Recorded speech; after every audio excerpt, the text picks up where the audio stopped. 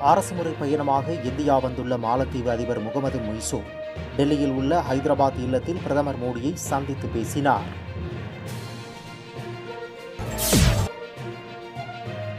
மெரினா சம்பவத்தில் உயிரிழந்த ஐந்து பேரின் குடும்பத்துக்கு தலா ரூபாய் ஐந்து லட்சம். முதல்வர் மு ஸ்டாலின் அறிவிப்பு.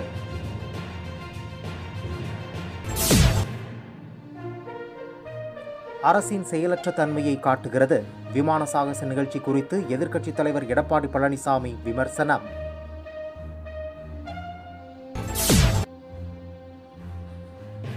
நடிகர் தனுஷ் ஐஸ்வர்யா விவாகரத்து கோரிய வழக்கு விசாரணை ஒத்திவைப்பு.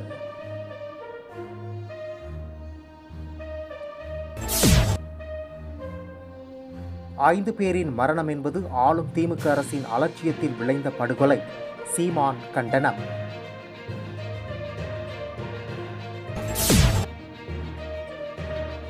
உளுந்தூர்பேட்டை அருகே சிறுபாக்கம் கிராமத்தில் மின்னல் தாக்கி வயலில் வேலை செய்து கொண்டிருந்த நான்கு பெண்கள் படுகாயம்.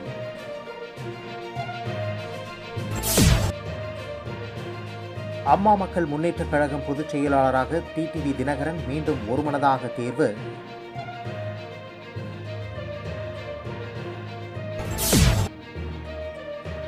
மத்திய அரசு தமிழை ஆட்சி மொழியாக அறிவிக்க கோரி நவம்பர் பனிரெண்டாம் தேதி ஆர்ப்பாட்டம்.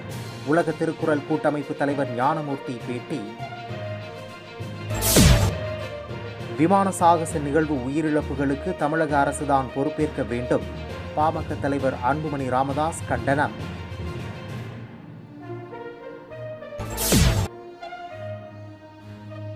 புதுச்சேரி ஹோமியோபதி மருத்துவமனையில் சிறுநீரக கல் கரைக்கும் சிகிச்சை விரைவில் தொடக்கம்.